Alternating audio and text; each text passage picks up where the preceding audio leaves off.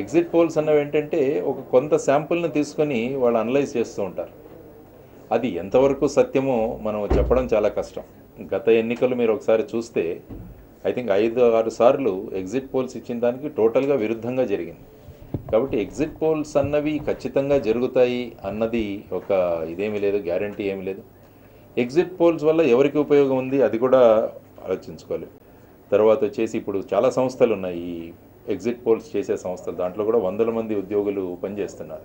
కాబట్టి వాళ్ళకు కూడా ఒక ఇదనమాట లైవ్లీహుడ్గా ఉంటుంది ఇది. కాబట్టి వాళ్ళు వాళ్ళ పని వాళ్ళు చేశారు. ఎగ్జాక్ట్ పోల్స్ మనకి ఎగ్జాక్ట్ రిజల్ట్స్ అన్నవి మనకు ఇరవై మూడో తారీఖున రాబోతున్నాయి అందువల్ల ఎవరు ఎంతవరకు ఈ ఎగ్జిట్ పోల్స్ ఎంత దగ్గరగా వచ్చారన్నది కూడా చూడడానికి ఒక అవకాశం మనకు దొరుకుతుందన్నమాట. ఎందుకంటే మేము ఎలాగైతే బాండ్ పేపర్ మీద రాసి ఇచ్చామో ఏమేం చేస్తామో అని ఈ సంస్థలు కూడా రాసివ్వాలి. మా ఎగ్జిట్ పోల్స్ తప్పవుతే మేమేం చేస్తామని చెప్పేసి.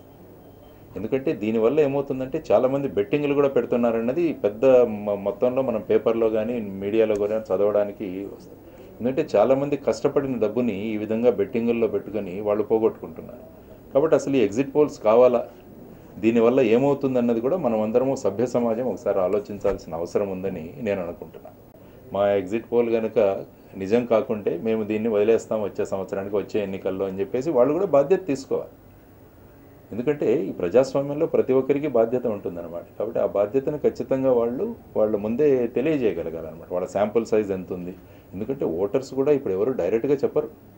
ఎవరికి వేసామన్నది కూడా వాళ్ళు ఇట్స్ ఎ కాన్ఫిడెన్షియల్ మ్యాటర్. నేను చెప్పాల్సిన అవసరం కూడా లేదు యాక్చువల్గా. కాబట్టి ఇవన్నీ తీసుకున్న తర్వాత ఈ ఎగ్జాక్ట్ పోల్స్ వచ్చిన తర్వాత ఎగ్జిట్ పోల్స్ని మళ్ళీ ఒకసారి కూర్చొని ఎవరు ఎంతవరకు వచ్చారన్నది కూడా మనం ఆలోచించుకోవాలన్నమాట. అసలు ఈ ఎగ్జిట్ పోల్స్ కావాలా అన్నది కూడా మనం ఒక విషయం ఆలోచించుకోవాలి. ఎందుకు అవసరం ఉందా? వీటి వల్ల ఏమవ అవ్వబోతుంది అన్నది కూడా దీనివల్ల ప్రయోజనం ఏంటన్నది కూడా ఫైనల్గా మనం ఆలోచించుకుంటే ప్రజాస్వామ్యం పునాదులు గట్టిగా చేయాలంటే ఏవైనా ఉన్న ఇటువంటి వ్యవస్థలు కావాలా వద్దా అన్నది డైరెక్ట్గా ఒక చర్చ కూడా అవసరమని నేను అనుకుంటానండి.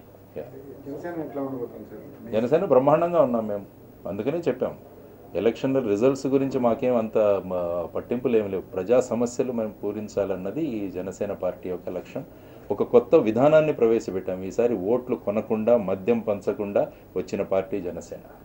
కాబట్టి జనసేనకు పడిన ప్రతి ఓటు కూడా మార్పు కోసం వేసిన ఓటు అని మేము అనుకుంటాము మార్పు ఎంతమంది కోరుకుంటున్నామన్న దానికి ఒక పరీక్ష ఈ ఎలక్షన్. పట్లేము పనులు చాలా చేయొచ్చు మూడు రోజుల్లో. మూడు రోజుల్లో చూద్దాం ఏమవుతుందో. ప్రజలు ఎవరిని కోరుకున్నారు అనేది మనకు తెలుసు. ఇందులో గెలుపు ఓటమని నేను ఎప్పుడు అనుకోం. ప్రజలు ఎవరిని కోరుకుంటున్నారు? ఏ సిద్ధాంతాలను కోరుకుంటున్నారు? ఏ భావనలు కోరుకుంటున్నారు అన్నదానికి ఒక ఇండికేషన్ అనమాట ఎలక్షన్స్